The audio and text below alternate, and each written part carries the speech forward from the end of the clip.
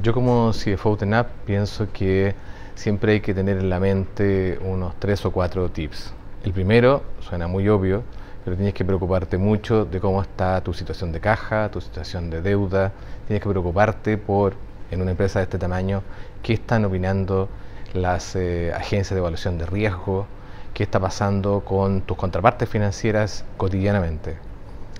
En segundo lugar, como tip 2, mirar qué oportunidades ofrece el mercado cuándo es el mejor momento para buscar refinanciar, cuál es el mejor momento para cambiar la estructura de las obligaciones que tiene la compañía. Tip 3, buscar todo el día la eficiencia, buscar la contención de los costos, buscar las mejores alternativas para incorporar tecnología que abarate, y abarate la producción y mejore la productividad de nuestra gente.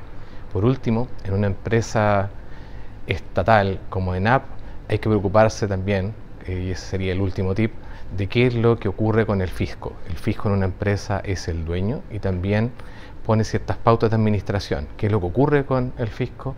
Es muy determinante de qué es lo que puede o no puede hacer una empresa pública.